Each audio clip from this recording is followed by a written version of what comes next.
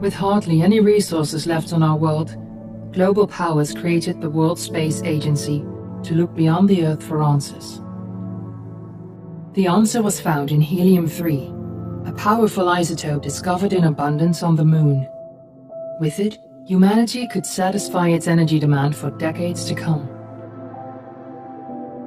And so, in 2032, mankind colonized the Moon.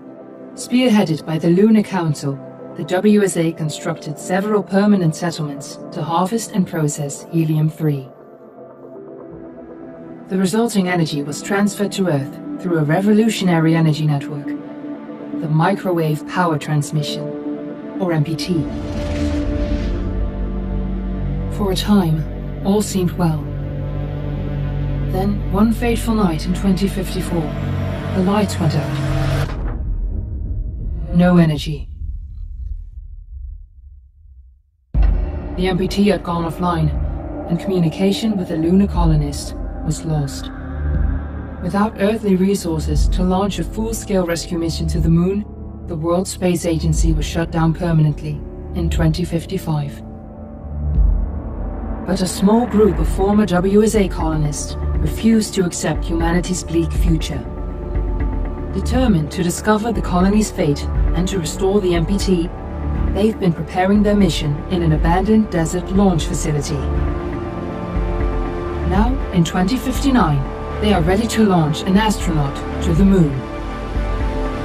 What awaits is unknown and unforeseeable, but the mission is clear.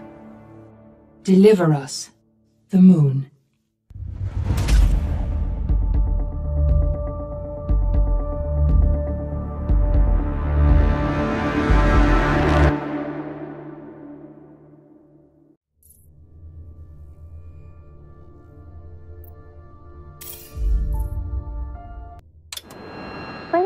Family of the missing lunar colonists gather all around the world tonight in remembrance of the 2054 MPT blackout that resulted in a global power outage and the loss of contact with the lunar colony.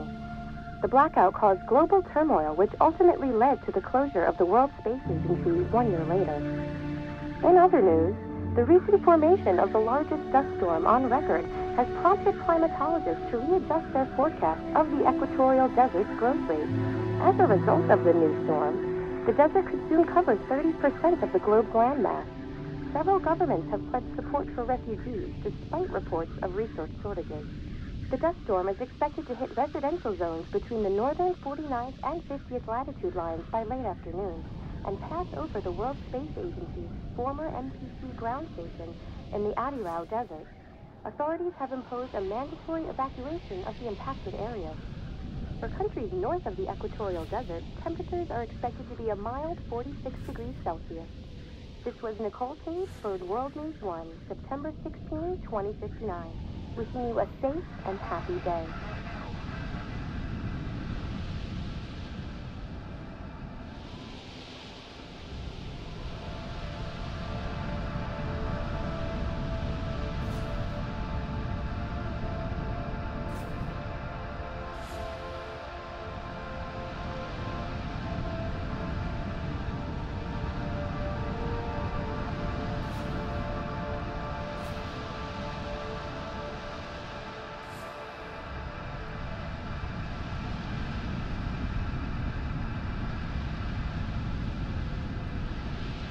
We're ready to start the mission. Do you copy?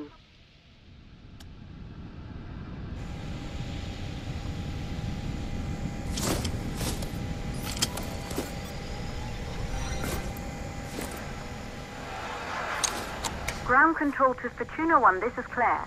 Please confirm radio contact.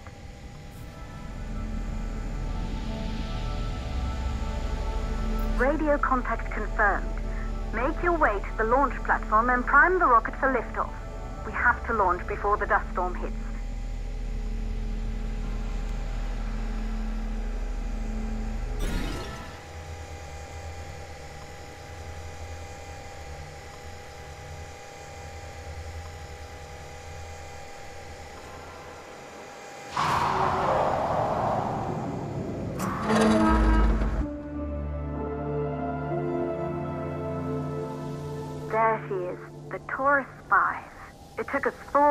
To get her ready for launch.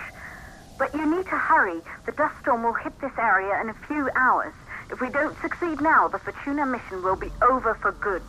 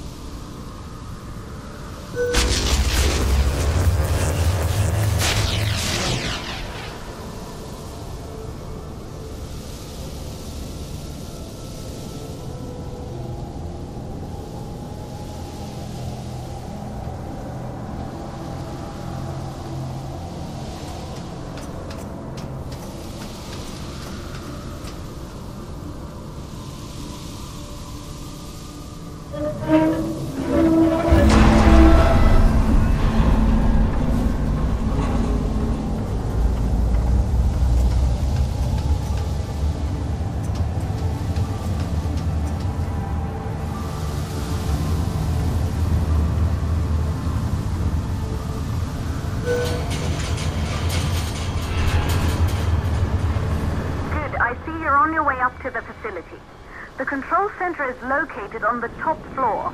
There you can prime the rocket for launch.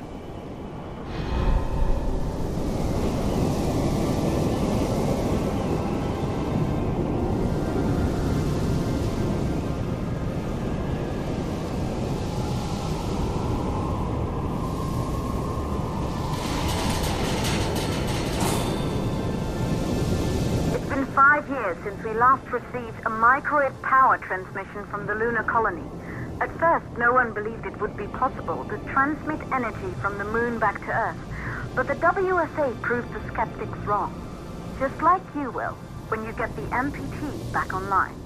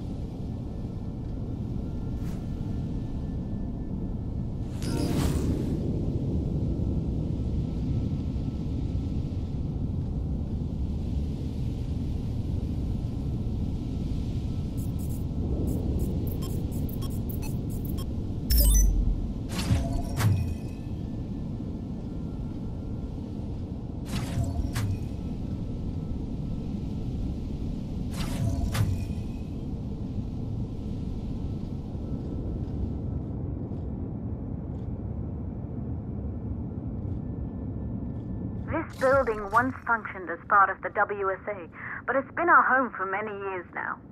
I still can't believe you'll be leaving here for good soon. The desertification of this whole region won't take long after the storm passes through.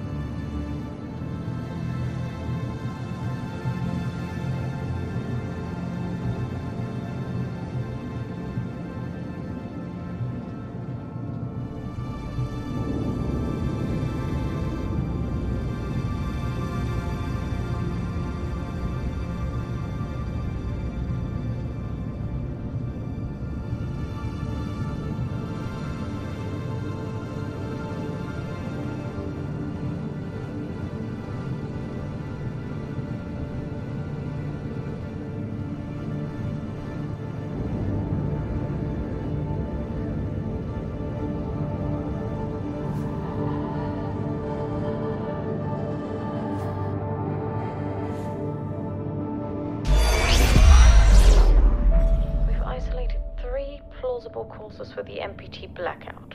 One, the transmitter at Pearson Space Station. Claire, there you are. Come on, we're celebrating in the other room. Everyone is looking for you. I need to go over this one last time, Maria. We've been over it before, multiple times. We're good. Come. It's time to join the party. It won't take long. I'll be right there. A true Johansson. Once he set his mind to something, I could never convince him either. You're just as stubborn as your father. Probably the only thing we had in common. I, I just don't understand why he didn't restore the MPT connection. He invented the damn thing. And now it's just us. No one else is even trying. If we fail. Remember what I told you. If it can be done, then we're going to do it. That's all we have to focus on. Go over your notes. Join us when you're ready. All right. Causes of the blackout. You're in the control center. Get the rocket ready to launch as fast as possible. Calculating new storm ETA. Claire, we have a problem. The storm is approaching faster than expected. Way faster. Time's running out. Keep going, Fortuna. We've been working too long to give up now.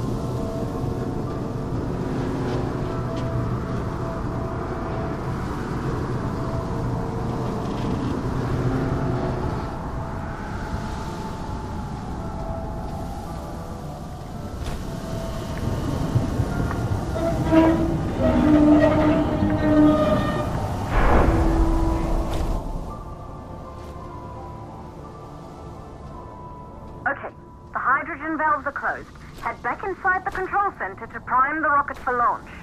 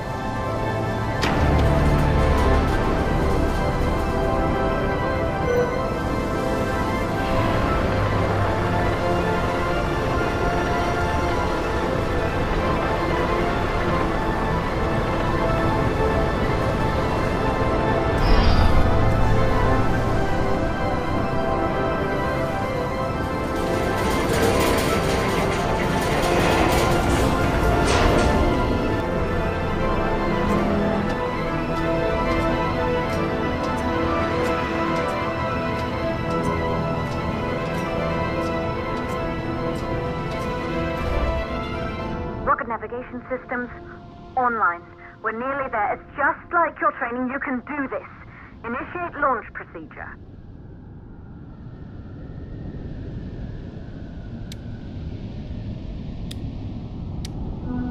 Ground launch sequencer started.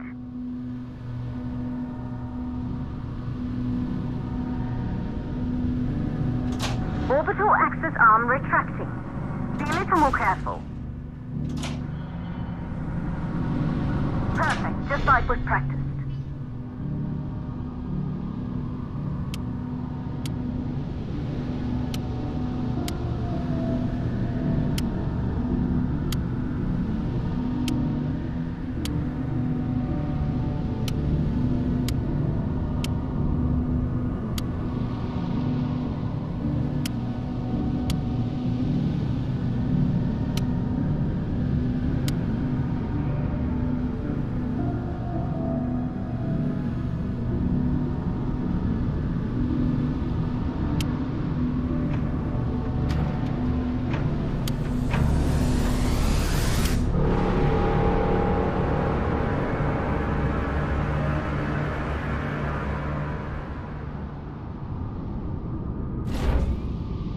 Navigation systems online.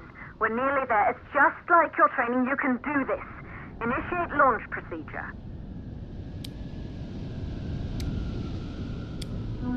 Ground launch sequencer started. Orbital access arm retracting. Perfect, just like was practiced.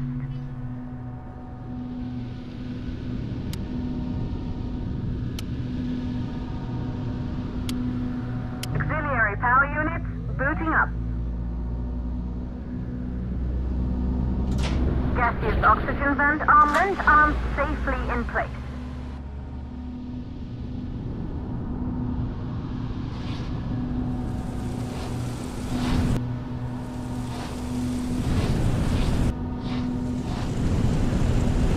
Sound suppression system engaged.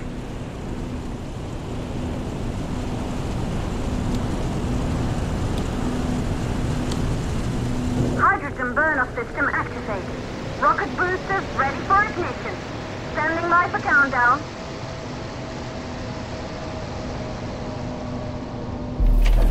Rocket boosters ignition start. Engines ready in five, four, three, two, start, one. We have liftoff!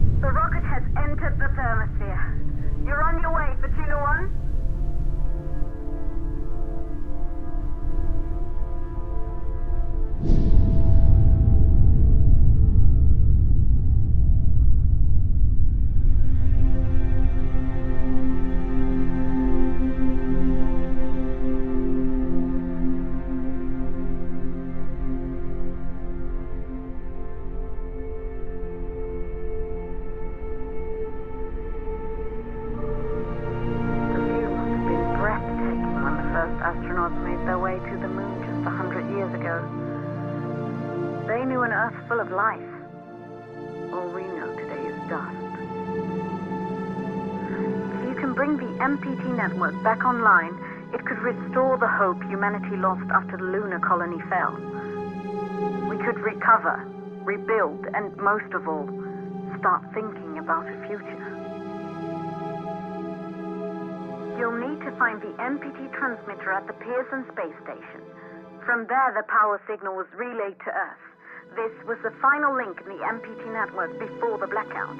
If there are answers to find, they're at Pearson. Claire, we need to head down to the shelter. These winds are getting bad. Understood. For Tuna One, this storm is going to jam radio contact. You'll be on your own for a while. To reach the station, you must... Once you're in the the second stage of the law. Please, deliver us the look.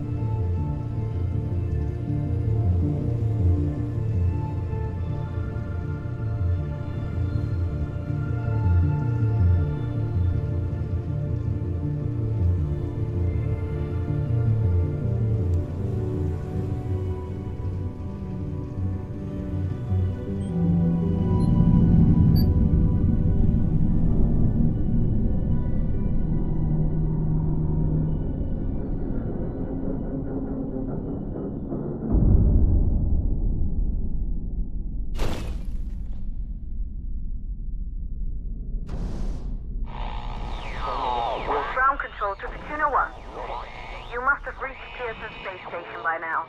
The storm has severely damaged our instruments, so we can't reach your location or receive any messages. But we can detect fluctuations in the MPT network. If you can hear this, when you reach the control center, try to find out what's wrong with the MPT connection so you can bring it back online. Good luck with.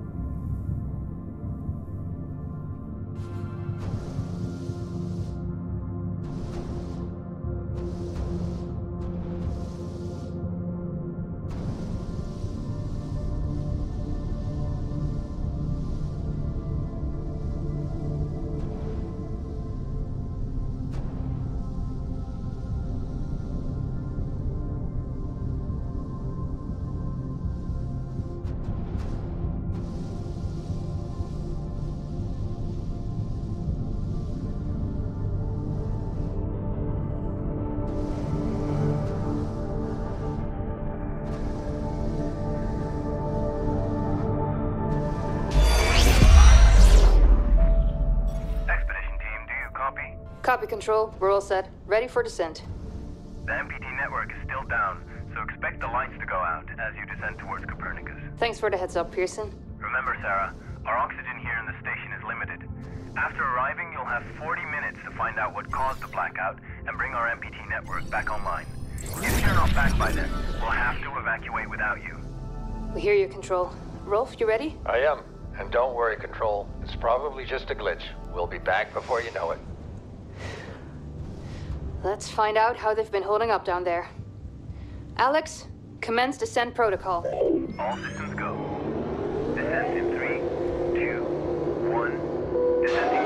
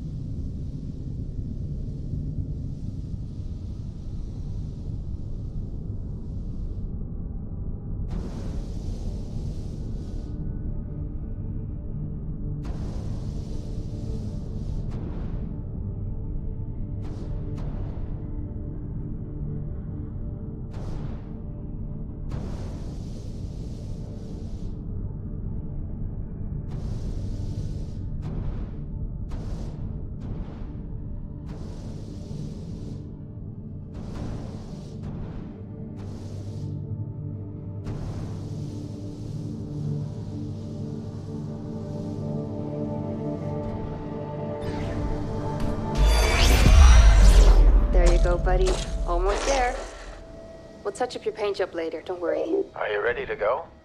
We've almost got the elevator running again. Yeah, just patching up Alex before we head down. Are you bringing that thing along? Of course.